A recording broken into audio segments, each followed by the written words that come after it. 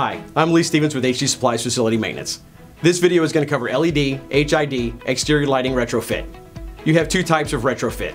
First, if you have an older property with older fixtures, you can simply replace with a new modern LED HID light fixture. This has 50,000 hours of life, which is 11 years at 12 hours a day.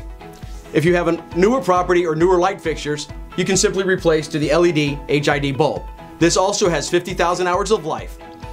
If you use just the bulb, you must bypass the old ballast. Both of these give you a lot of options and a lot of benefits.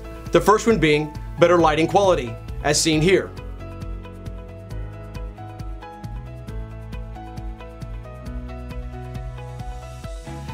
Energy conservation, a quicker return on investment, longer life, which means less maintenance. Both of these options have everything you need to complete the retrofit.